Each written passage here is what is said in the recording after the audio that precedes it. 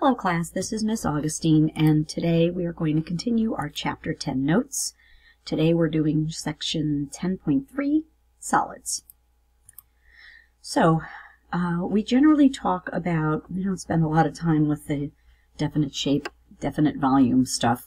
We talk about the types of solids and there are generally two types of solids. Crystalline solids, which are the type that have highly regular arrangements of their components. By component, I mean ions or molecules, typically. Um, examples would be table salt and pyrite. So I've uh, trotted out my sample of table salt with the little green and silver um, styrofoam balls many times. And then this one is kind of cool. It's a um, an electron micrograph of pyrite. Um, so we talked a little bit about uh, crystalline solids when we spoke about ionic compounds. Um, so this is just an extension of that, I guess. So when we talk about crystalline solids, we talk about this very regular arrangement of their particles. In this case, this would be uh, lithium chloride. And you'll uh, recall me pulling these models out and showing them to you when we talked about ionic compounds. So we talk about some sort of a lattice, um, and we talk about how many other particles, in this case ions, each ion is surrounded by. Um, and again, when we're talking about solids, depending on whether it's an element, in which case the particles would be atoms. If it was an ionic compound, the particles would be ions, as they are here. And if it was a molecular substance like water in its solid state, we would be talking about molecules. So when we talk about crystals, there are seven basic crystal units. Um, in general, if you go on to be a chemistry major, you will spend probably years of your life talking about the crystal structures. Just know that there are seven very basic crystal shapes that I'm showing you here. They are tetragonal, hexagonal, orthorhombic, trigonal, triclinic, monoclinic, and isometric or cubic. Um, and that's pretty much all we're going to hold you responsible for at this stage of the game. The other type of solid that we talk about is amorphous solids. The other types of solids, uh, plural, singular.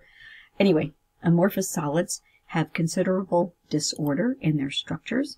We think in terms of glasses and plastics. And as you can see here, there is a great deal of disorder in the uh, particles of an amorphous solid as opposed to a crystalline solid.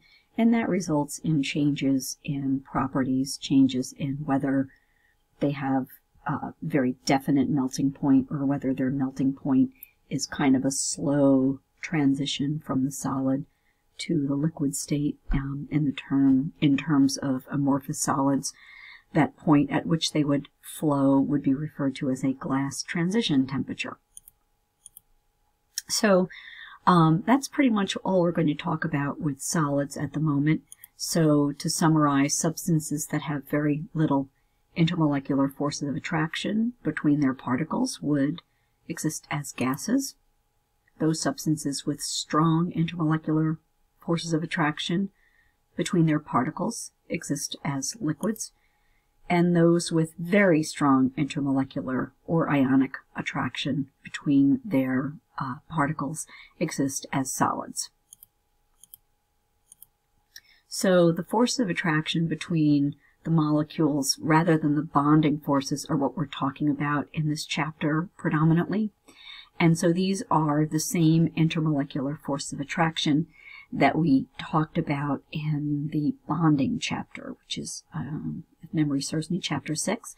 So we referred to these intermolecular forces generally as van der Waals attractions, but we can break them down into three forces of attraction, the so-called dipole-dipole interactions, the hydrogen bonds, and whenever we mention hydrogen bonds, remember that hydrogen bonds occur between hydrogen and typically three other elements, NOF, nitrogen, oxygen, and fluorine, and the London dispersion forces.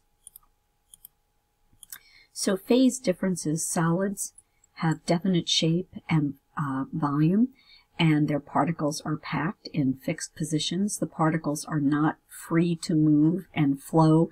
However, there is always motion, and so we think of it in terms of vibration um, within the fixed points.